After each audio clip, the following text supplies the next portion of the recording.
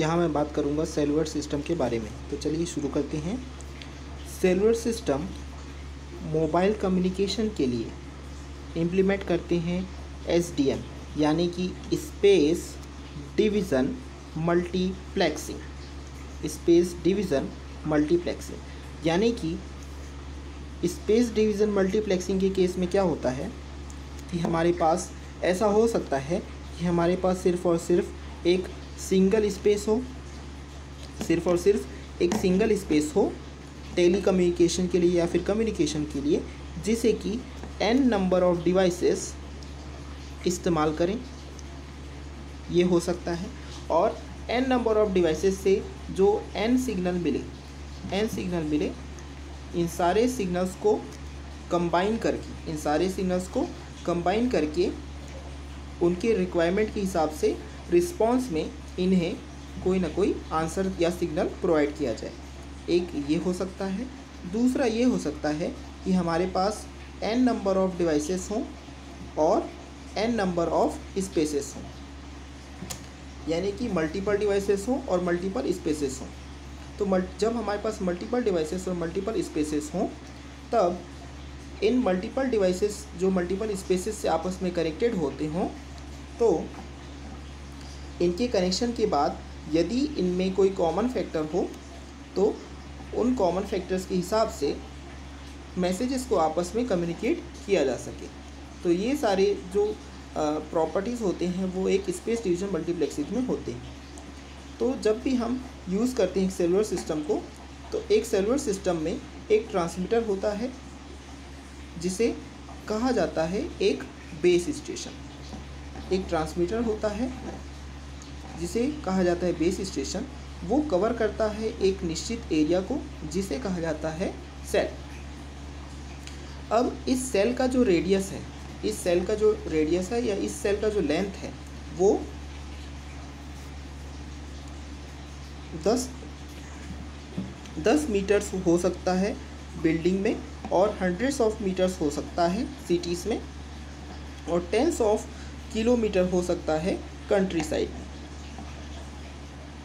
जो भी सेल का शेप है सेल का जो शेप है, वो कभी भी परफेक्ट नहीं होता है। ठीक है? सेल का शेप ना कभी भी परफेक्ट सर्कल हो सकता है और ना ही कभी भी परफेक्ट हेक्सागन हो सकता है। यानी कि सेल का जो शेप है, वो इस बात पे डिपेंड करता है कि इन्वायरमेंट क्या है, क्या वो बिल्डिंग है, क्या वो माउंटेन है और क्या वो वैली है। यानी कि यदि हम एक सेल को ये माने कि उस सेल के रास्ते में बहुत से ऑब्स्टिकल हैं तो एक सेल का शेप कुछ इस तरीके से भी हो सकता है। वेदर कंडीशंस में वेदर कंडीशंस में और कभी कभी क्या होता है सिस्टम लोड पे भी डिपेंड करता है सेल का शेप टिपिकल सिस्टम यूज़ करते हैं इस अप्रोच को टेली मोबाइल टेलीकम्युनिकेशन सिस्टम्स के लिए। यानी कि वेदर कंडीशंस और इन्वायरमेंट्स वगैरह को जहाँ पर एक मोबाइल स्टेशन एक सेल के अंदर एक बेस स्टेशन में होकर कम्युनिकेट करता है बेस स्टेशन और उससे जुड़े हुए स्टेशनों या फिर डिवाइसेस से। जैसे कि अभी आपको बताया गया था कि एक सेल का जो साइज़ है वो साइज़ कुछ फिक्स नहीं होता है। हम यहाँ पर ये एज्यूम करके चलते हैं कि एक सेलुलर सिस्टम में जितने भी सेल्स हैं, कुछ इस तरीके के शेप्स में आपस में कनेक्टेड हैं। इस कॉन्टेक्स्ट में ये क्वेश्चन ये उठता है कि क्यों मोबाइल नेटवर्क प्रोवाइडर्स इंस्टॉल करते हैं काफ़ी सारे बेस स्टेशन एक कंट्री में। और चलिए वो कंट्री में इंस्टॉल तो कर देते हैं। और ये बेस स्टेशन क्या होते हैं? काफ़ी महँगे होते हैं और ये एक यूज़फुल यूज़फुल पावरफुल ट्रांसमीटर नहीं होते हैं। बड़े सेल्स की तरह जैसे कि रेडियो स्टेशन यूज़ करते हैं। तो अभी हम यहाँ पर यहाँ हम, यहाँ पर जो हम सेलुलर सिस्टम्स देख रहे हैं, उनमें स्मॉल सेल्स यूज़ हुए हैं। और आप देख सकते हैं कि यहाँ पर कुछ सेल्स को हाईलाइट किया गया है। जिन सेल्स को हाईलाइट किया गया है, वो सेल्स बेस स्टेशन हैं। यानी कि यहाँ पर F1 जो है, वो F3 के लिए और एफ़ टू के लिए as a base station work करता है। एफ़ वन एफ़ टू और एफ़ थ्री के लिए इस तरीके से। यहाँ पर आप देख सकते हैं कि जो सेल्स की जो नेमिंग है, वो रिपीटेड है। तो फ़िलहाल हम यहाँ पर बात करते हैं एडवांटेजेस ऑफ़ सेलुलर सिस्टम जिनमें स्मॉल सेल्स होते हैं। यानी कि ऐसे सेल्स जो कि साइज़ में तो स्मॉल होते हैं, लेकिन फिर भी वो सेलुलर सिस्टम के केस में एडवांटेजेस वर्क करते हैं। तो पहला जो एडवांटेजेस है, वो है हायर कैपेसिटी जब भी हम इम्प्लीमेंट करते हैं स्पेस डिवीज़न मल्टीप्लेक्सिंग तो इससे हमें मिलता है फ्रीक्वेंसी को दोबारा इस्तेमाल करने के लिए बेनिफिट यदि एक ट्रांसमीटर एक दूसरे ट्रांसमीटर से दूर, दूरी पर है यानी कि इन्फेरेंस रेंज से दूरी पे है तो यह यूज़ रीयूज़ कर सकता है सेम फ्रीक्वेंसीज को।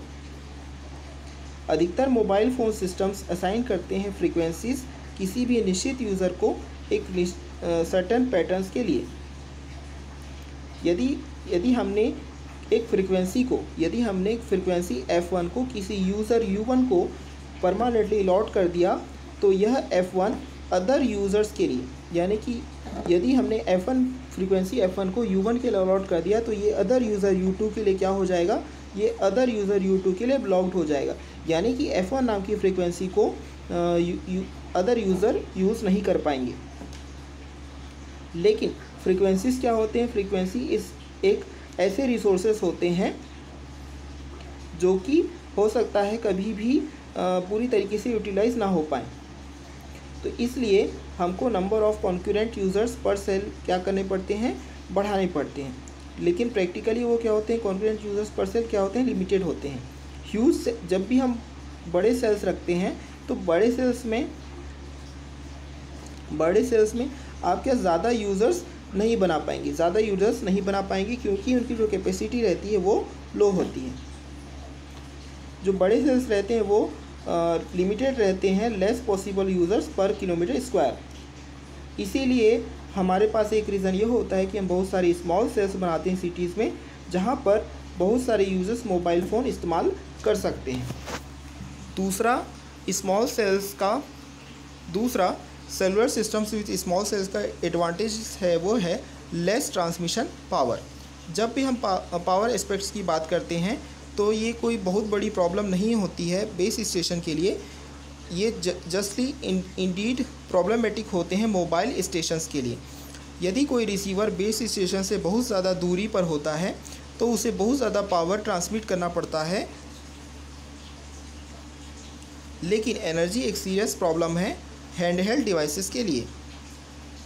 नेक्स्ट एडवांटेजेस है, वो है लोकल इन्फेरेंस ओनली जब कभी भी लॉन्ग डिस्टेंस होता है सेंडर और रिसीवर के बीच में, और तो ऐसा होने से बहुत सारी इन्फेरेंस प्रॉब्लम्स हो सकते हैं। स्मॉल सेल्स होने पे स्मॉल सेल्स पे होने पे मोबाइल स्टेशंस और बेस स्टेशन को सिर्फ़ और सिर्फ़ डील करना पड़ता है लोकल इन्फेरेंस से। नेक्स्ट है रोबस्टनेस सेलुलर सिस्टम यदि डिसेंट्राइज होते हैं तो इस इससे ज़्यादा इसमें आ, क्या होता है? कभी भी फेल होगा तो सिंगल कंपोनेंट फेल होगा। यदि एक एंटीना फेल होगा तो ये सिर्फ़ और सिर्फ़ इन्फ्लुएंस करेगा communication with a small area को।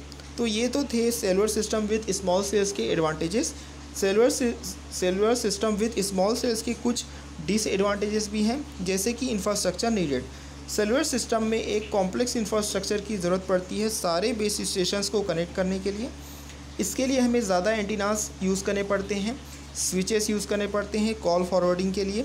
लोकेशन रजिस्टर यूज़ करना पड़ता है ताकि हम फाइंड कर सकें मोबाइल स्टेशन जिससे कि हम सारे, जिससे क्या होता है, सारा सिस्टम बहुत ही एक्सपेंसिव होने लगता है। क्यों एक्सपेंसिव होने लगता है? क्योंकि आपको एंटीनास भी चाहिए, आपको स्विचेस भी चाहिए कॉल फॉरवर्डिंग के लिए, साथ ही साथ आपको लोकेशन रजिस्टर चाहिए।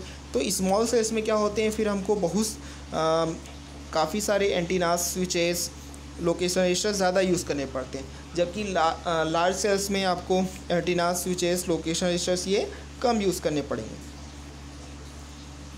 इसके बाद जो नेक्स्ट डिसएडवांटेज है वो है hand over needed mobile station को परफॉर्म करना पड़ता है एक हैंड ओवर हैंड ओवर यानी कि दूसरे स्टेशन को हमको रिस्पॉन्सिबिलिटी देना पड़ता है कम्युनिकेशन एक एक सेल से दूसरे सेल से जाने के केस में। Depending upon the cell size और स्पीड ऑफ़ मूवमेंट यह बहुत ज़्यादा होने लगता है। यानी कि जब हमारे पास स्मॉल साइज़ की सेल्स रहते हैं तो कम्युनिकेशन का जब जब प्रायोरिटी या प्लेसेस चेंज होता है तो हमको बार बार पर्टिकुलर सिग्नल को हैंड ओवर करना पड़ता है दूसरे मोबाइल स्टेशन को। नेक्स्ट है फ्रीक्वेंसी प्लानिंग फ्रीक्वेंसी प्लानिंग भी एक तरह का डिसएडवांटेज है सेलुलर सिस्टम भी स्मॉल सेल्स में। इन्फेरेंस अवॉइड करने के लिए ट्रांसमीटर के बीच में जब हम यूज़ करते हैं सेम फ्रीक्वेंसीज़ तो फ्रीक्वेंसीज़ जो हैं फ्रीक्वेंसीज़ डिस्टर्ब हो सकती हैं, इसलिए हमको उनको केयरफुली यूज़ करना पड़ता है। एक तरीके से क्या होता है इन्फेरेंस को अवॉइडेड किया जाना चाहिए, और दूसरी ओर सिर्फ़ और सिर्फ़ क्या होगा, हमारे पास लिमिटेड नंबर ऑफ़ फ्रीक्वेंसीज ही अवेलेबल होते हैं। इन्फेरेंस को अवॉइड करने के लिए डिफरेंट ट्रांसमीटर से हम यूज़ कर सकते हैं एक दूसरे ट्रांसमीटर का इन्फेरेंस जिसके लिए हम यूज़ कर सकते हैं फ्रीक्वेंसी डिवीज़न मल्टीप्लेक्सिंग का। यदि हम फ्रीक्वेंसी डिवीज़न मल्टीप्लेक्सिंग को टाइम डिवीज़न मल्टीप्लेक्सिंग यानी कि टीडीएम के साथ कंबाइन करें तो होपिंग पैटर्न को कोऑर्डिनेट किया जा सकता है। यहाँ पर जनरल गोल जनरल गोल ये होता है कि हमें कभी भी यूज़ नहीं करना है। सेम फ्रीक्वेंसी को at the same time interference range में। सेल्स जो होते हैं वो कंबाइंड होते हैं क्लस्टर्स में। On the left side three cells from a cluster on the right side seven cells form a cluster जितने भी सेल्स होते हैं क्लस्टर में, वो यूज़ करते हैं डिसजॉइंटेड सेट ऑफ़ फ्रीक्वेंसीज को।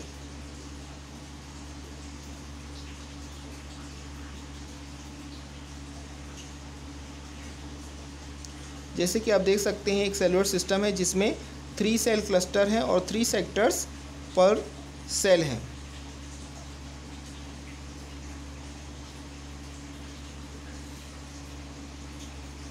जैसे कि यहाँ पर आप देख सकते हैं कुछ सेल्स हैं जिनमें कि मेनली जो सेल क्लस्टर्स हैं वो हैं F1, F2 और F3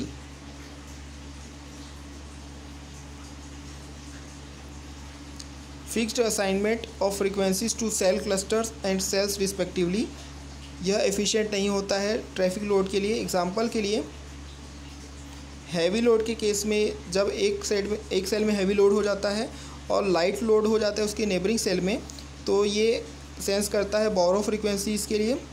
ऐसे सेल्स जिसमें ज़्यादा ट्रैफ़िक होता है, वो डायनेमिकली अलॉटेड करते हैं मोर फ्रीक्वेंसीज इस तरीके की स्कीम को बोला जाता है बोरोइंग चैनल लोकेशन बी जहाँ पर फ़र्स्ट फिक्स स्कीम को बोला जाता है fixed channel allocation F C A तो इसलिए हम ज़्यादातर यूज़ करते हैं डायनेमिक चैनल एलोकेशन यानी कि डी सी ए तो डी सी ए में क्या होता है? फ्रीक्वेंसी सिर्फ़ और सिर्फ़ बोरो होते हैं, लेकिन यह पॉसिबल होता है कि हम फ्रीली असाइन कर सकते हैं फ्रीक्वेंसीज सेल्स को। सेलुलर सिस्टम जो होते हैं, वो जनरली यूज़ करते हैं code division multiplexing instead of FDM क्योंकि यहाँ पर इस तरीके के लेबरेट चैनल एलोकेशन स्कीम और कॉम्प्लेक्स फ्रीक्वेंसी प्लानिंग की ज़रूरत नहीं पड़ती है। इसलिए यूज़र्स जो होते हैं वो है सेपरेटेड होते हैं थ्रू द कोड जिसे वो यूज़ कर रहे हैं not through the frequencies self planning से एक और प्रॉब्लम होती है कि सेल्फ प्लानिंग में एक तरह की प्रॉब्लम ये होती है कि जो सेल साइज़ होता है वो डिपेंड करता है करंट लोड पे। अकॉर्डिंगली सीडीएम सेल्स को कॉमनली कहा जाता है ब्रीथ जब भी एक सेल कवर करता है एक लार्जर एरिया को, एक लाइट लोड में तो यह श्रिंक हो जाता है यदि लोड इंक्रीज़ होने लगता है। इसका रीज़न इसका ये है कि जैसे जैसे नॉइज़ लेवल बढ़ने लगता है नॉइज़ लेवल कब बढ़ता है? जब एक एक सेल में बहुत सारे यूज़र्स होने लगते हैं। जैसे जैसे नॉइज़ बढ़ने लगता है तो पाथ लॉस होने लगता है और जैसे जैसे ट्रांसमिशन एरर भी बढ़ने लगते हैं। फाइनली जो मोबाइल स्टेशन होता है वो बहुत दूर चला जाता है बेस स्टेशन से और वह ड्रॉप आउट हो जाता है ऑफ़ द सेल